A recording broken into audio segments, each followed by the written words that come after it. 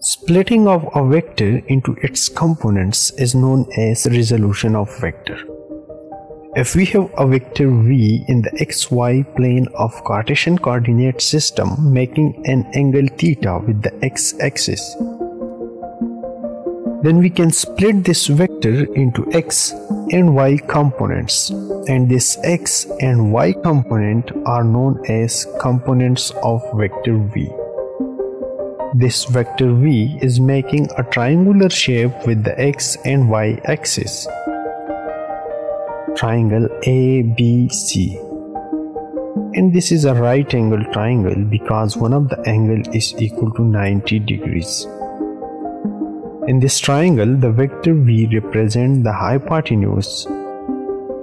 The side adjacent to the theta is the base and the side next to the theta is perpendicular.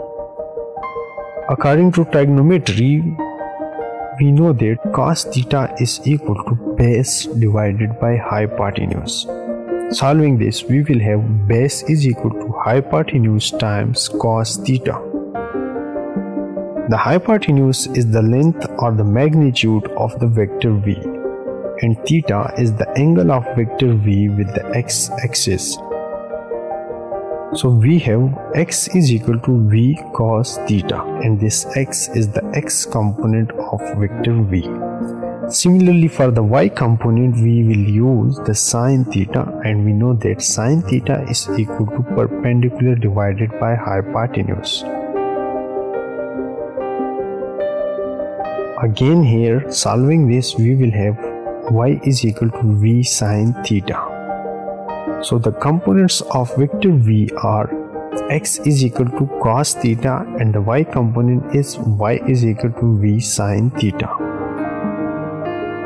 The x component shows the projection of vector v along the x-axis where the y component shows the projection of vector v along the y-axis. Now the vector v can be written in component form as v is equal to xi plus yj. i and j are the unit vectors.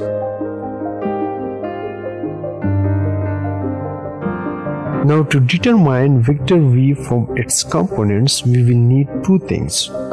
One is the magnitude of vector v and the angle theta it is making with the x-axis. Now for magnitude we will use Pythagorean theorem. According to the Pythagorean theorem, hypotenuse whole square is equal to base square plus perpendicular square.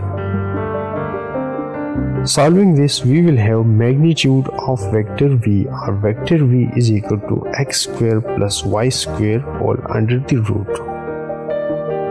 Similarly, for the calculation of theta or the angle, we will use the tangent theta.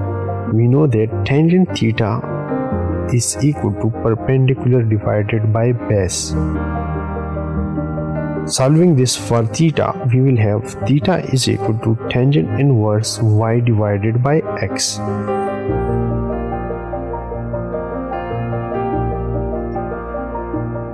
So we have determined the x component for vector v, y component for vector v, magnitude of vector v and the angle theta it is making with the x-axis. That's it. Thank you for watching and don't forget to subscribe Easy Edu for more videos. Thank you.